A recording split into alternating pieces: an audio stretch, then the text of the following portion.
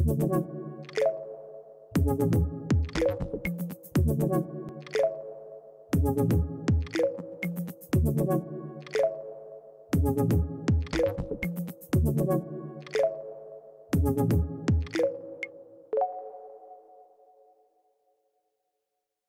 morning, Dr. Christensen. Good morning. Uh, I have been looking forward to this podcast for weeks, and uh, when when Chuck and I had a list of the 32 most influential, Yes. um, there were a couple that we kind of argued over as to who we get to interview, and uh, I won the coin toss on you. Well, so, uh, so, so really am very pleased. Um, I always start with an intro, and uh, so I'm going to embarrass you a little bit. okay. Uh, and so um, here is I, I did some some looking around on the internet, and I found that that uh, Senator Orrin Hatch uh, uh, read uh, a tribute to you to President Barack Obama in 2015, and I want to just read a couple of the highlights from that.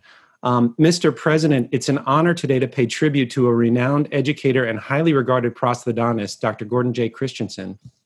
In 1976, Dr. Christensen and his wife, Dr. Rella Christensen, a well respected dental consultant, started Clinical Research Associates, now known as the CR Foundation. He's presently serving as CR's Chief Executive Officer and is a member of the Board of Directors. Dr. Christensen and his wife volunteer full time for CR to conduct research in all areas of dentistry. The Christensens published the findings of their research in the Gordon J. Christensen Clinicians Report, a publication of the CR Foundation. The Clinicians Report is translated in seven languages and distributed to more than 100,000 dentists across 92 countries.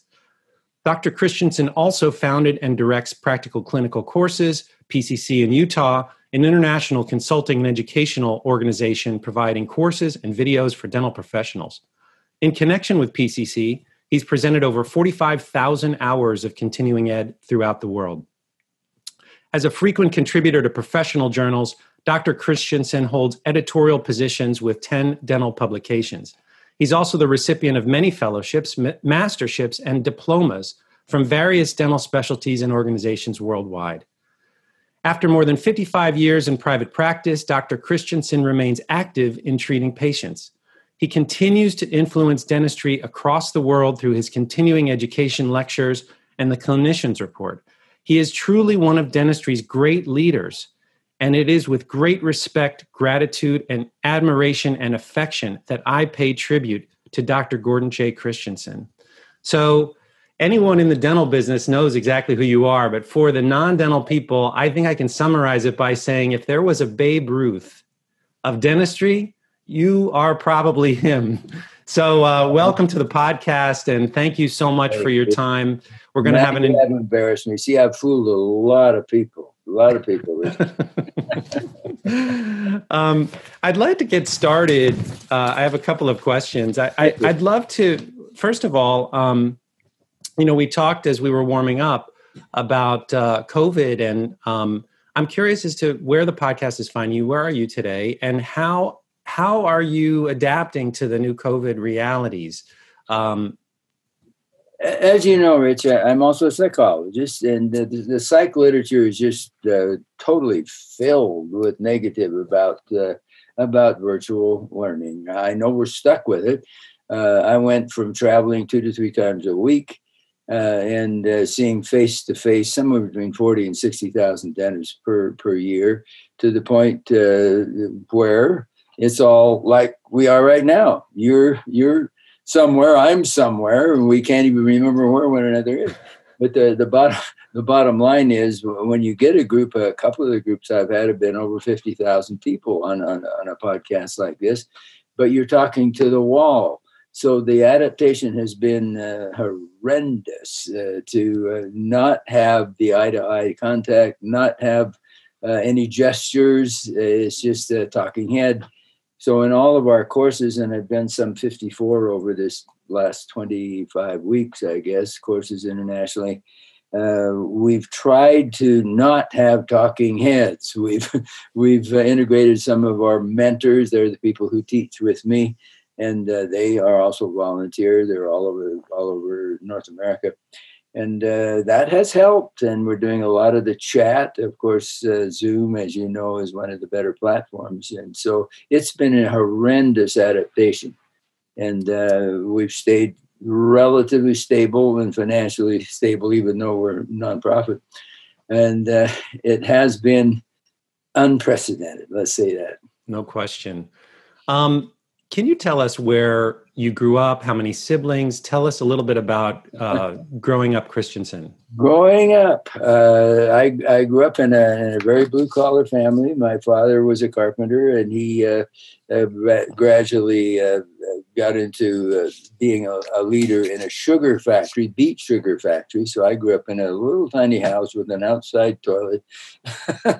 wow! Back in the in the 30s, and it was quite an experience. I it was right in a, a, northern Utah town, very very small town, Lewiston, Utah. I spent my first six years, and my mother was highly highly motivated that I would have some education, and so was my father. The bottom line was uh, I had one brother, older than I, and uh, he uh, he gradually, uh, well, he was in the Second World War. He survived uh, because he could typewrite. That was an interesting story. Uh, the, they were uh, congregating in England, ready for Normandy, and uh, they asked who could typewrite, and that was considered a real wimpy thing for a man to do. That was a woman thing, but he, my mother was a secretary, so she she had taught him and me how to typewrite and he raised his hand and that saved his life. Saved his uh, life. His uh, his peers in high school then all were called the Normandy uh, in one big group. Half of them were killed. So uh, mm. he, he went to Italy and Switzerland and was a was a clerk. Gradually went to Stanford, got an MBA there, became president of the largest insurance company in the world. And uh, the two of us came from a very, very humble background, but wonderful, wonderful parents. Interesting. Um, and at what point did you decide to become a dentist? And what were the other things you were considering when you were um, in yeah. your teens and 20s? Very good question. Very good question. My uh, ecclesiastical leader happened to be a, a, a, the Church of Jesus Christ, as you know. And um, I've never been a real uh, lunatic religiously, but I've always been very, very involved with the religious things. I've taught seminary and done a lot of things with youth. And my ecclesiastical leader was also a uh, dentist, and he was an unbelievable role model. He very altruistic man. Uh, he he served people constantly, gave away probably most of what he earned, and I thought, hmm, uh, he's doing a real service, and uh, I loved uh, the, the, physiologic aspects of, of, humanity. I would go up in the mountains and find animals. Uh, we lived right in the mountain area in northern Utah. And uh, I, I, looked at medicine, dentistry, engineering. Second year in, uh, in college, knowing nothing about any one of the three. Uh, I was in a fraternity, Sigma Chi and I was one of the only non-drinkers at that time. So the bottom line was one drunken night in a party there. Christensen, what are you going to do? And uh, and they said, why don't you flip a coin? And, and I was sober, they were, and we flipped the coin, and it turned dentistry. And uh, I'm, I'm, sure that didn't make the decision. The big man made the decision, but uh, that was uh, was pretty influential in my life when I just put my put my wheels down and took off. And uh, amazing. I, I, knew from junior high I wanted to be a dentist. Because of that one night? Yeah, well and then the, that that man who oh right of course. Yeah yeah yeah. So one of the ways that I learned about um, about the Mormons was that I traveled for a year internationally after college, and I met a lot of them on the road oh, in yeah. places like India, and uh, that, that's where I spent most of the time that I that I had. I've, I've, done a lot in India, mm-hmm. and so I was wondering where were you sent on your mission? I and what I, did you learn from that? Denver, Colorado, uh, and then of course that was the that was the puberty mission when you're just a kid. Uh, that that at that time that was from 18 and up, and uh, I did a, a, home mission because it was well, it was right between the the uh, Korean War and the Vietnam War. I was in the Vietnam War in, in, in the military, and uh, and so uh, they sent me to a home mission in Denver. But then subsequently, many years subsequently, uh, I was asked to administer a bunch of missionaries in the Los Angeles, huge Mormon temple there, and that was that was just uh, 15 years ago. And oh, wow. that was an interval where I had to leave dentistry and only be involved with it one day a week for some years. Interesting.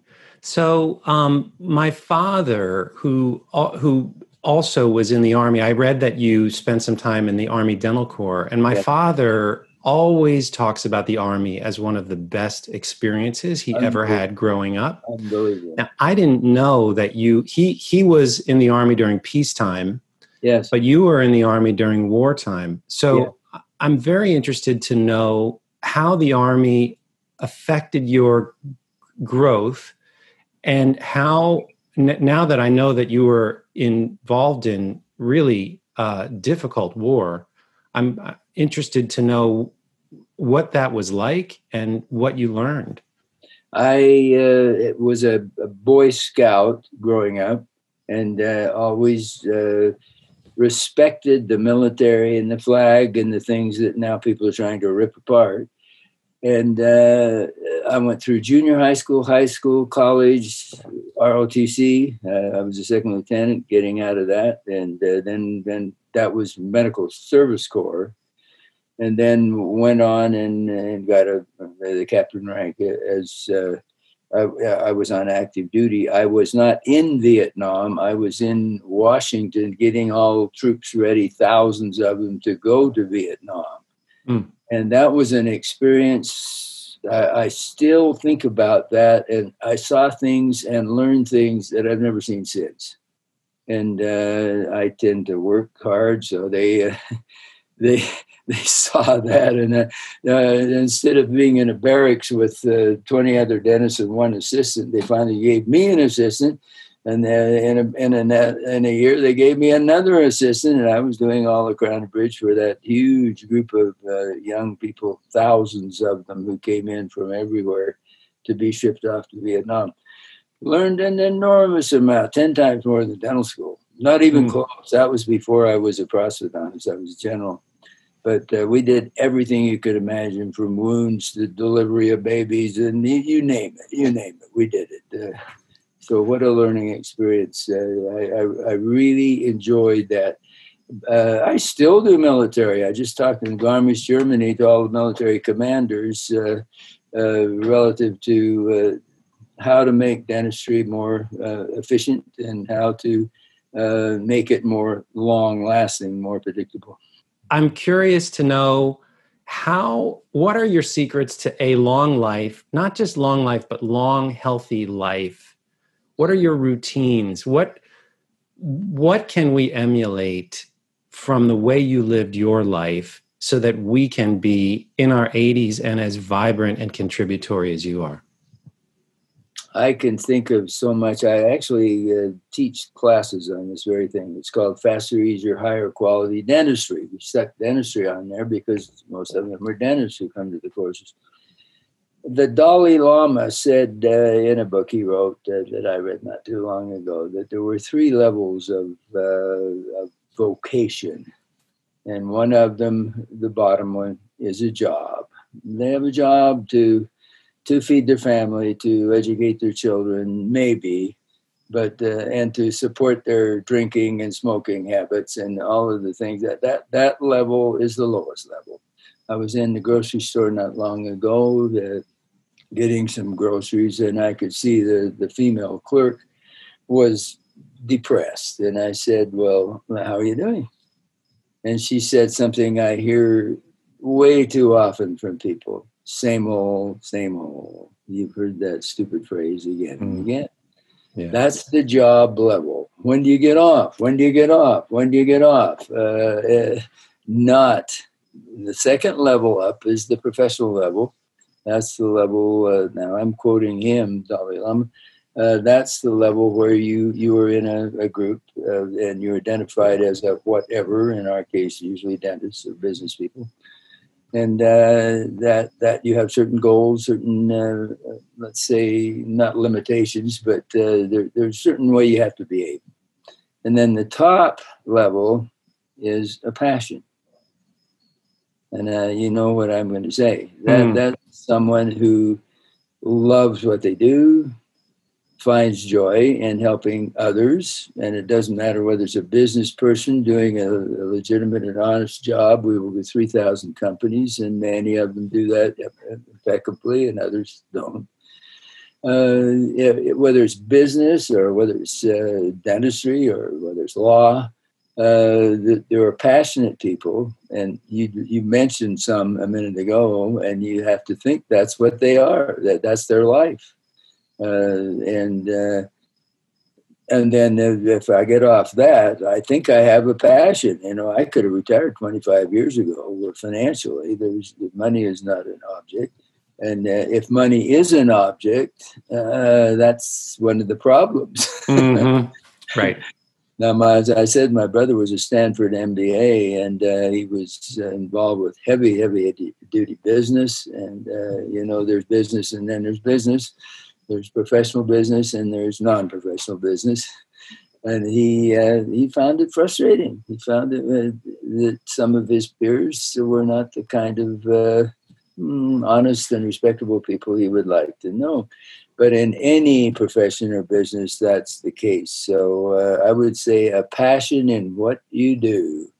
Not that you devote all your energies to that. Family has to come first, and second has to come uh, your professional life, and then and then down the line it gets to civic, it gets to religious, it gets to the other aspects. About five major aspects of life and uh, now uh, you ask, how did I stay healthy? I don't know. The good Lord's been good to me that way. Seriously, my my dad, my brother lived to ninety four, dad ninety three. Mother was the one. She was a little bigger woman than she should have been, and uh, uh she she died in her eighties. But uh, what about diet and exercise? What what has been? How did you live your life with regard to that? And if you say you never exercise, I maybe I don't want to know.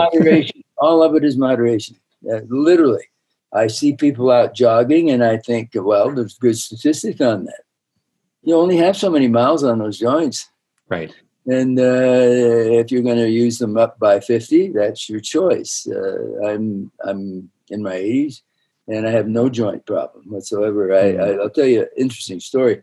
Uh, I I was like any other kid, but I was one one year ahead of myself. So I was small. I didn't develop uh, physically fast, and I was small. And I, I was on the the uh, sophomore and the junior football team, and I got slaughtered every time. And uh, I didn't make the senior team, and I was devastated, devastated uh, I got into golf. I got into uh, rifle team. I got into debate, and I got in. I got nationally known in debate, and you see where it's taken me. Uh, so uh, thankfully, I didn't get on the senior football team. I go back to some of those graduation. Uh, I mean, uh, the reunions now, and I see, I see most of the heavy duty athletes are either dead now or they're in wheelchairs, or they are on a walk with using a walker. And I thought, hmm, I guess I had some destiny to live longer because uh, that's that is physical exercise in excess. Physical exercise in moderation is walking fast. Uh, when my staff goes with me, oh, there go, there he goes on the Gordon walk. Get, re- get ready, and they, they've got to move a little faster. We go through airports in seconds. Uh, it, it's moderation. Don't get on the stupid moving sidewalks. Don't, don't get in elevators. You know, I don't do fake exercise. I really don't. I do real world. I think that's what the good Lord had. That's why He made us physically fit, is because we had to do things. Uh, and I don't do the false stuff. I, but I take very active orientation in the real stuff. I was a Boy Scout master eight years, hiking in the mountains. And I ride horses. I do all kinds of physical things, but they're all real. I don't have a fake exercise.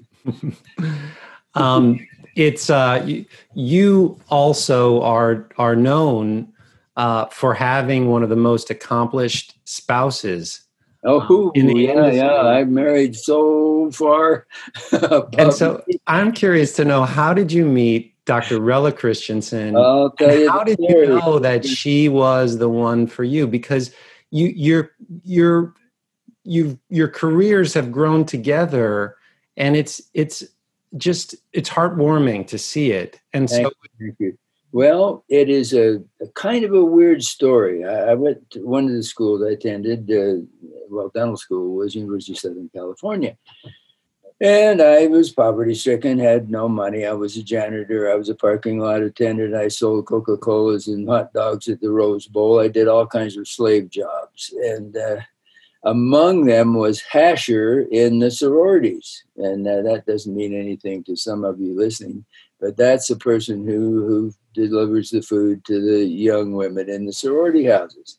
I liked it, but in the meantime, in the meantime, uh, uh, I one of them was uh, was the sorority that Rella was in, and uh, uh, I uh, I remember the night very well. That, that night when Rella was was basically talking to me, I spilled food on her, and I thought, uh, well, inadvertently, and uh, I thought, well, why don't we? Uh, I'll ask her for a date. So uh, I did, and that started it. And we knew within that was 1959, if you would believe. We've been married 61 years now. Amazing. And uh, so uh, we live pretty independent lives. We're together on the weekends. We have our, our normal date night. Uh, uh, we're we're involved. We have we have our times when we get very animated in our discussions. Uh, and uh, but we always have respected one another. She's she's expert in one area. I might be slightly expert in another area, and we interdigitate that, and uh, it's worked beautifully well. But uh, being a Mormon bishop, as I was for uh, for some years, I learned a lot about marriage, and I do have a PhD in psychology. So I I learned a lot about how to keep a marriage together and, and shut up and listen. is that is that does that summarize all of the lessons together? That's, That's uh, all parts of life. Just listen a lot. Listen a lot. Listen till it hurts. Yeah. So true. Yeah. Um, so on to um, on to an article that I saw that you wrote uh, in 2003 the title of it is "I've Had Enough." Did oh, you, yeah. You remember that? Is that is that worth? I've, you mind I've, discussing that? I've written well over 500 articles in, in journals all over the earth. And this uh, is the one that still comes up in the oh, first page of Google. That one, has, that one has had more reprints than any other article I've ever written. I mean, I, I when I first wrote it, I had piles of letters six inches deep. Uh, I have had enough. I think it's time to, as I mentioned uh, a little while ago, relative to business, and it's true of dental or medical or whatever, there, there are people who are devoted to helping others, and then there are others with a, mo- a goal of money only. And uh, the over treatment that prompted prompted that article was rampant at that time. Eight veneers on somebody that needed a bleach, uh, you know, all kinds of just crazy, crazy stuff uh, on young people. Uh, I, I, would see people come in. Uh, I live right here by Brigham Young University and Utah Valley University. There's 65,000 students in this small community. So there are a lot of, uh, students from everywhere, a lot from California. And California was one of the hotbeds of this overtreatment at that time. This has been quite a few years ago when uh, veneers were very popular. They were they were new, so everybody wanted to do them. And uh, I would see. I'm not exaggerating at all. I would see eight or ten veneers on somebody that needed a, a, a bleach or a couple of diastema closures with resin, and I thought this is sick. I would, uh, and then I, am on hospital staff, and I, I, would see, Oh, I would see uh, many things that uh, are out of my realm of, of, total knowledge, but I would see too many hysterectomies. I would see uh, all kinds of things that were uh, done that really didn't need to be done. Uh, and that really frustrated me. We're, we're, one of our mantras in any medical area is do no harm. And I was seeing harm. I was seeing the teeth cut down at age 18 that mm. shouldn't have been touched. And that it prompted me to say, let's think logically about what we're doing. Let's not overtreat. Uh, it it got killed by the recession. You, you know that the recession would not allow. We lost what was it, twenty seven percent of indirect restorations in dentistry during the the Great Recession of years ago, and uh, it is coming. Never came back. Yeah, no, it never came back. Came back slightly, but now COVID came on, and that wiped it again. We're yep. we're back to reality again. We're back to who we are, which is uh, trying to preserve teeth, not just make people everybody look like toilet bowl white. You know. um, if that article has been very popular. so do, do you do you think it's getting it's so I, I, would assume that you you would think that it's better now than it was in 2003 yeah. but when you look toward the future do you think there's um, what do you see with regard to what you wrote in 2003 do you see history repeating itself or uh, I, I well then there was a lot of affluence among the general public as you know back in 2003 uh, i think it was a time when uh, most dentists were doing exceedingly well. Only a few were struggling. And uh, therefore, uh, there was a lot of emphasis on money, a lot of emphasis on the triple digits of, of income. Uh, that's not where we are. Right. you know, it's, it's nice to have enough money. It's nice to have a, a growth each year. But to aim at that is stupid. I, I don't care what profession they're in or business they're in. To aim at just money is not uh, not where we are. We're not here for that reason.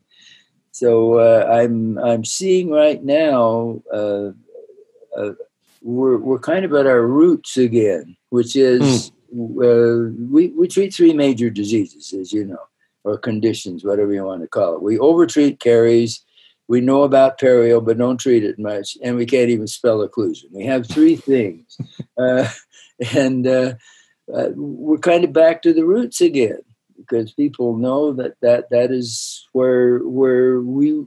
That's why we exist. We don't yep. exist to make everybody lovely and gorgeous, uh, although that's one of the things part of it can do. And I, am seeing uh, kind of a leveling of that extravagant and over over treatment that we saw back in the early 2000s. Thank goodness. If you were a 35 year old dentist, mm-hmm. uh, what would you be worrying about today? Uh, a lot of things. In uh, uh let's see, what was the year? Uh, uh, it's been about 15 years ago. I paired with Howie Farran and with Rich Madow and a few others, and we got all our databases together, and we had oh, tens of thousands of dentists. We polled them.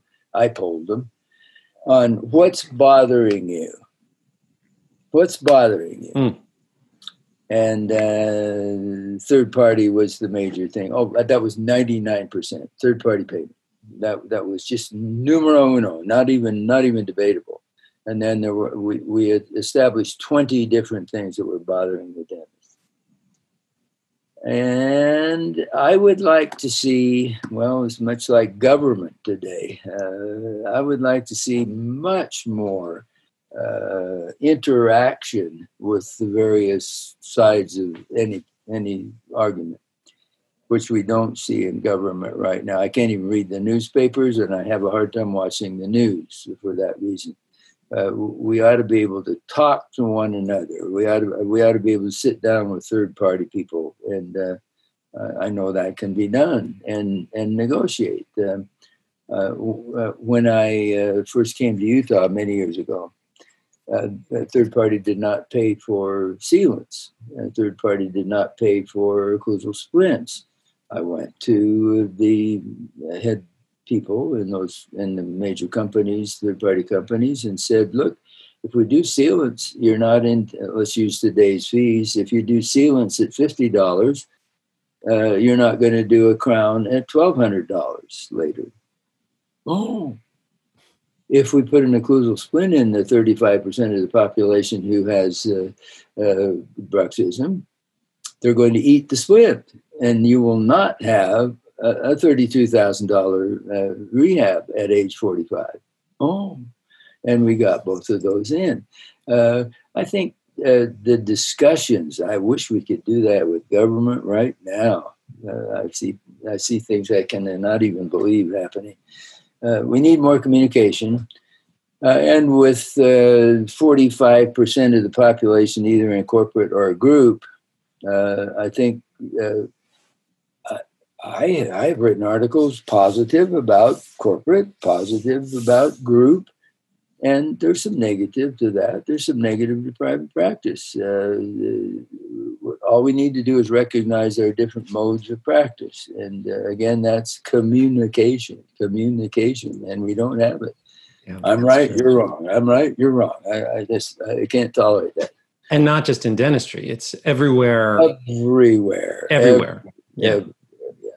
Yeah. Yeah. Um, I uh, I happen to uh, struggle with posture. My my, and I'm not a dentist, but uh-huh. I I'm 50 years old almost. I'm 49, and uh, I I am very cognizant of, and I have terrible neck issues. And when I see your posture at, at age in, at, at, your advanced age, and the fact that you've been a dentist your whole life, yeah, yeah. I, I think that that posture is on the minds of many dentists right now because it's one of the things that can be a true gotcha in retirement. No so question. What, being a dentist your whole life, how did you wind up with such impressive posture? Did you work at it, or is this just good luck? Uh, no, it, it's a combination of the two. Uh, during my I've helped start two dental schools and one major CE center. And one of the dental schools I helped start years ago in the 60s was University of Kentucky. During that time, there was a lot of emphasis on uh, on posture when practicing, on uh, hand movements, on high velocity evacuation. There were lots of things that, that came on during that time that were that were highly influential then, and even today, just as recently as yesterday, Rella showed me the current study she's doing on uh, on uh, all of the sucking machines that that you I don't have to mm-hmm. tell you that everybody's buying, and uh, we've tested many, and you'll be very interested to see the reports when they come out. We're not mm-hmm. done yet. We we finished it with. Uh, with smoke, where uh, we put the various machines in, and we find out where is the smoke going, and uh, uh, how much of it is uh, in, in, the operatories.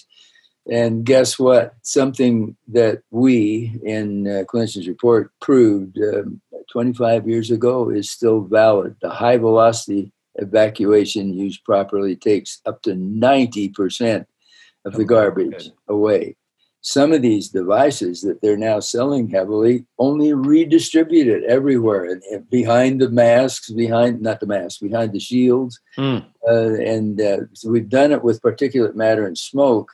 Now we're going into actually organisms and uh, the particulate matter. Uh, but that, that that's such an example of, uh, of where we are the, the, the bottom line is a lot of these studies that are going on now are going to really change the, the way we practice. No, no question in mind. Yeah. Um, can you share with with the audience that there must I, am going to ask for only two i bet you have dozens but what are the two products that you think every single dentist should have that you don't see many dentists uh, either know about or they don't have but what are two that come to mind that you think? Thank, thank you, Rick. That's a really good question. I have a whole course on that that goes a couple of days. We did a study on 47 technologies. Number one was, and I think you got a lot of stuff stirring around in your mind, Uh, that, that, they could not vote on this. We polled the profession. They I can't wait to hear what it is. They could I, not. I do have an idea. Unless they had used the concept. Cone beam. Was number one, not even debatable. Uh, you hear questions like that changed my life. I've seen things I've never seen before. It's changed every treatment plan. That's just one thing after the other, after the other, after the other. So cone beam is right on the top. And uh, what other things should they get? I'll, I'll say obviously cone beam is going to run you 65k to 150k, and uh, so you're getting better, less expensive every year. Yeah, so. yeah, it is. Thank goodness mm. it is. Thank goodness it is. Uh, some of the studies we do are really appalling. We did one a while ago on uh, just panoramic, and we found uh, 25% of American dentists don't even have panoramic. Oh. And of those who have panoramic, 25% of those are still analog. So, you know, I'm thinking, huh? Uh, the so called, as a trite phrase, digital workflow. Uh, you guys have done so well in uh, in looking at. Uh, you talk about posture. Uh, that, uh, when I was in your East Coast uh, demonstration facility, I was very impressed that, that, you've got some some smaller operatories for hygienists. Uh, you, have done some really creative things. Uh, I see certain other, I'll not name them, groups that come in and tell tell the dentist what to do. They start to work in it and think, huh? I don't want the sink over there. I want it over here. You know, it's it's pretty interesting to see uh, I would say digital workflow would be the, the second thing. The second one is digital workflow. mm Excellent. Um, what advice would you give to your 20 year old self? If you can go oh. back in time and coach your own self at age 20, what would you tell yourself? Uh, uh, again, I could give you a whole day lecture on that. Uh, it's almost a, a scriptural thing. You know, doing others as you would have them doing to you. That's number one. Uh, have empathy, enthusiasm, positive thinking. I, I, I, polled many leaders. How many years ago would this be? The Alpha Omega fraternity, then almost all Jewish, obviously, asked me if I would uh, look at well, they gave me an award, but I'll get off that. And, and they wanted me to give a talk on on leadership. So I pulled a hundred leaders uh, by their biographies and autobiographies, and they were people like Dwight Eisenhower, uh, Norman Vincent Peale. They were people in, in every aspect of life: business, religion, uh, uh medicine, law, the, the whole gang. And of, of of all those leaders, the number one characteristic that they felt gave them their leadership uh, potential and influence was positive thinking. Hmm. That was number one. Every one of them, we can do it. We can do it. Look, look at Churchill. Never give up. Uh, you, you, you know, every one of them had the same orientation. I can do it. Just shut up and let's do it. Mm-hmm. Get her done. Do it now all of those phrases came, one after the other after the other from the from the leaders, and then uh, it went down the line, and you got others that were most of them uh, being organized. People ask me, "Well, how do you practice? Do religious stuff? Also do uh, family things?" And I say, "Well, there's a priority. You put family in the planner first, and then comes then comes business, then comes so forth down the line, and then you just live by that." but, Great uh, advice. Yeah, uh, that, that get organized and don't don't look at the half full cup. Look at the look at the upper side of that, that cup. I'll tell you, we what? don't see it enough. You don't see it enough. I totally agree. Um, what what books have you recently gifted or or or not recently but over your lifetime what books do you find yourself giving as gifts uh, I, i'm i'm psychologically oriented as you know and i, I think uh, the the human mind is not used nearly enough. Uh, as an example, I don't do a lot of sedation. The sedation uh, I can use by by influencing. This is this is your anesthesia up here. I can take a needle and stick it right through my hand and come out the other side and not feel it. Mm. But I have to jazz myself up. Uh, I can take a patient who can't have general anesthetic or even sedation and spend a couple of half hour sessions. Now, there's the downside. It takes a couple of half hours and get them to the point where um, uh, I have to tell you a story. It's a very interesting story. Please. When I went in the military, uh, I, I did not have the psychological background or education. And the old colonel uh, uh, was in charge, who was in charge of the oral surgery clinic, which was huge during the war, unbelievable because all those kids would come in mutilated and uh, we'd have to fix them. And he said, Christensen, don't give them, then he had a few expletives, uh, don't give them that anesthetic. He'd say, Look, let me show you what to do. And I could not believe what he showed me. This was a guy um, that I still remember, crude old guy. He knew every, every expletive in the English language, I'm sure. But he, um, he used hypnosis and um, he this sounds, bizarre. Mm. He would t- take a couple of sessions with a kid who was terrified. And uh, when I say kid, they're 18, 19, 20. Uh, after that time, he would say, Okay, I'm going to call you the day we're going to do this, and I will tell you what your mind is going to do. When you come in, the lower right side will be totally numb. I watched him do that, and I thought, this is this is witchcraft, and that got me very interested in psychology. That's why I did the PhD in it. Uh, the the uh, the hypnosis, the human mind is so powerful, and therefore uh, there there's so many psychological books. I, I, I hate to even mention uh, one. Uh, but uh, as, as we go through uh, the psychology things, I have one uh, grandson right now who's looking at medical. He's looking at oh a lot of the homeopathic things. Looking at medical school, he's just ready to to do one of those things. And I tell him, the mind can do almost anything with the sympathetic nervous system. I can stop urination till I actually bloat. I can mm. I, I, can I can start a headache uh, with about uh, ten minutes of contemplation and telling myself it isn't there. Uh, so a lot of the psychology books, but uh, then how to influence uh, people, uh, and you know that one. How to win friends and influence with kind of a classic. Yeah, there, there there are certain books. If you look behind me, I don't know if you can see it. I, I can see them. Yep.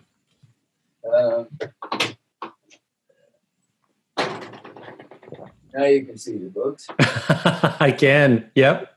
Uh, I don't worship those books because they're almost historic now. But I've got some old. I, I was looking at some old G.V. Black books. I have some of his textbooks from uh, 1908. I was oh my goodness!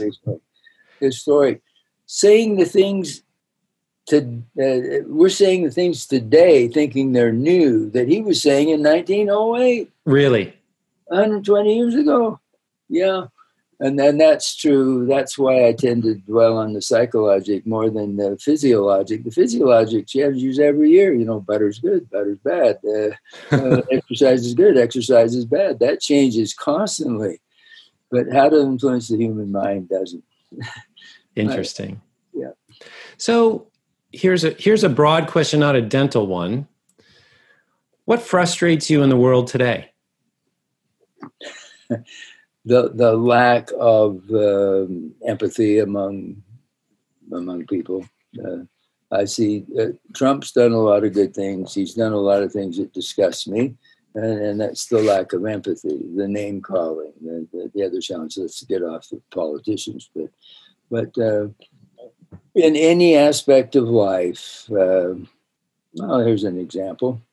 Your wife comes in. Your wife has the hideous new dress on.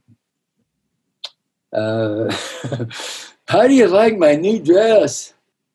Now you could say it's a piece of junk. I don't like it, or you could say, hmm, it's really a good length on you. You know, there, there, there's always something good to find in, in what another person is doing. Uh, you know, people tend to look at, at, at, Trump. I hate to mention him, but he's made such a, a furor.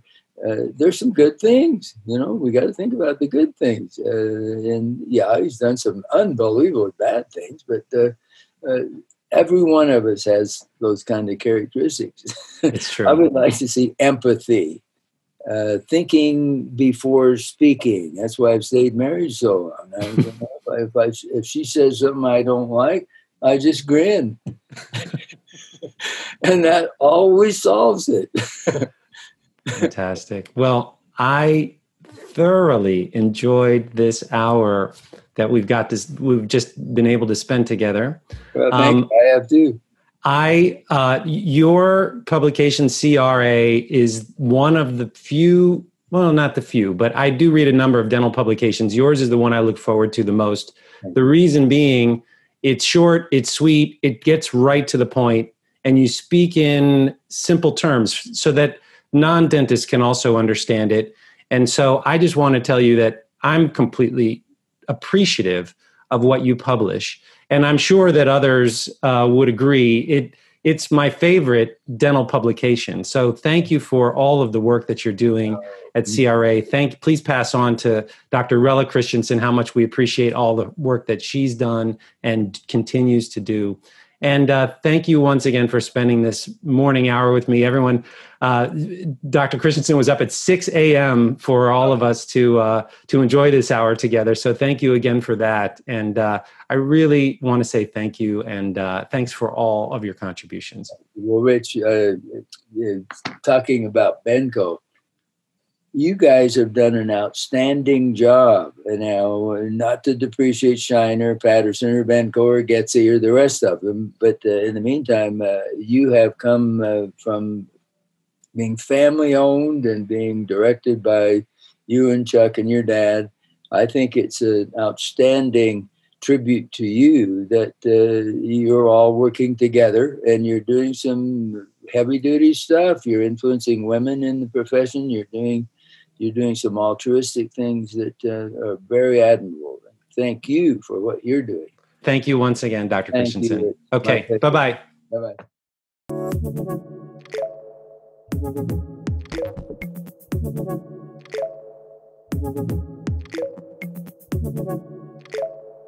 bye.